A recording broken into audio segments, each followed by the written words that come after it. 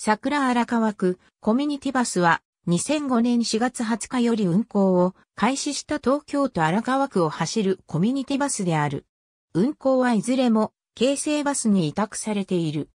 南千住駅西口を起点としてアクロシティ、町屋駅、荒川区役所を経由し、南千住駅西口に戻る約 6km の循環路線である。停留所にはすべて番号が割り振られている。なお、前日17時の気象情報において、翌朝の降水確率が50%以上の場合には、グリーンハイム荒川から町屋駅までに限り、朝の運転本数を4便増開するサービスを実施し、雨の日の潜在需要の掘り起こしを行っていたが、2020年6月26日の改正で廃止された。当初は反時計回りに循環する南線1系統のみだったが、2007年12月末に夕方から夜にかけて、町屋駅アクロシティ、グリーンハイム荒川と逆向きに走る南線2系統が新設された。2015年3月29日より南線2系統を循環系統とし、桜の運行を双方向化した。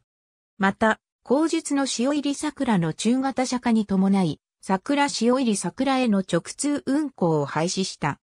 2017年3月26日より同日開設された区立の複合施設、由比の森荒川を経由する南線2から1系統が、土休日の日中のみ運行される。2008年10月31日より新たに運行を開始した南千住駅を起点とし、塩入地区を循環する路線である。バスの運行はそれぞれ南千住駅西口、東口で打ち切られる南千住駅で桜との乗り継ぎが可能である。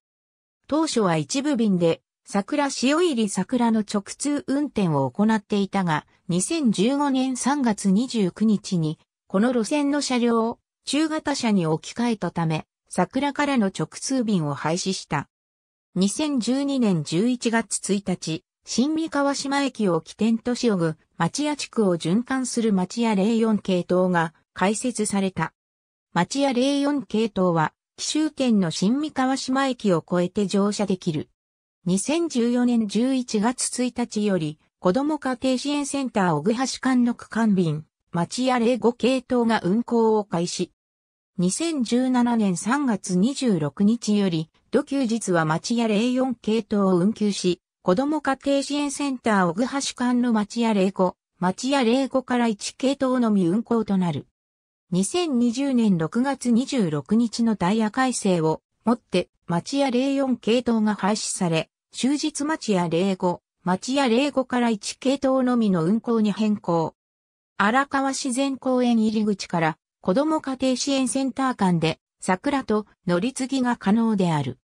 普通運賃普通運賃は現金の場合、大人160円、子供80円である。パスモが使え、IC カードの運賃は大人157円、子供79円である。京成バスの都内1日乗車券が使用できる。身体障害者手帳及び東京都シルバーパス等による無料乗車制度もある。また、桜全系統にてそれぞれ乗り降りできる定期券、桜パスも取り扱っている。乗り継ぎ運賃、桜と塩入り桜を南千住駅でまたは桜と町や桜を荒川自然公園入り口から子ども家庭支援センター間の停留所で乗り継ぐ場合は、車内で乗り継ぎ券を購入し、乗り継ぎをしたバスの乗務員に支払う。乗り継ぎ運賃の適用は1回のみであり、町や桜から、桜から塩入り桜を乗り継いだ場合でも、2回目の乗り継ぎには適用されない。桜車両は、動線専用の日のポンチョが使われるが、これが使用できないときは、京成バスの一般車、日野 DS が用いられる。2012年11月の町や桜運行開始に伴う新車両には、荒川区、シンボルキャラクター、アラボー、アラミ、イも描かれている。また、2015年3月29日に中型化された塩入り桜の車両は専用塗装のものでなく、京成バス一般路線車両に専用のステッカーバスマスクを装着して運用される。桜、潮入り桜の各停留所には、バスの接近を知らせるバスロケーションシステムが備えられているが、バスの接近を無線で感知する一般的なシステムと違い、停留所に備えられたボタンを押すことによって、次の停留所にバスが接近した旨表示される手動式のシステムとなっている。このシステムは、レゾナントシステムズと京成バスが共同開発した。ありがとうございます。